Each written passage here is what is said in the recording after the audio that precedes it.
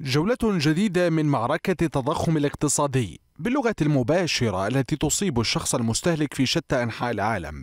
فالضربة العسكرية التي انطلقت مع بداية الحرب على أوكرانيا لم تتوقف عند حدود الدمار والمواجهة.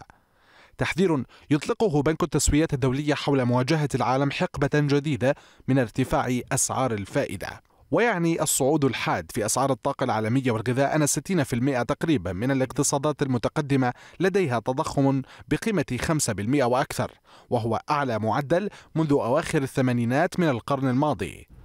على هذا الأساس تحتاج البنوك المركزية في دول العالم إلى تعديل سياساتها ضربة ليست بالسهلة فالورقة الاقتصادية اليوم تنذر بتغيير جذري لتعاملات تجارية وصناعية قد تودي بقوائم الأسعار والفائدة إلى دق طبول تشبه طبول الحرب ومعارك جديدة سيكون لها أثرها السلبي في أوضاع المعيشة والقدرة الاستهلاكية كما يهدد التضخم الأمريكي وأزمة الطاقة في أوروبا وتفشي أوميكرون في الصين بتباطؤ الاقتصاد العالمي وتبديد آمال الانتعاش التي كانت تلوح في الأفق.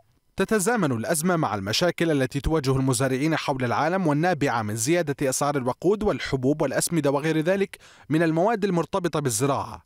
يخشى مشرعون من فشل أمريكا بالرد على أزمة الغذاء العالمية بشكل يفتح المجال أمام دول مثل الصين والدول المنافسة الأخرى التي تمتلك احتياطات حبوب واستخدامها لزيادة التأثير السياسي في أفريقيا وآسيا.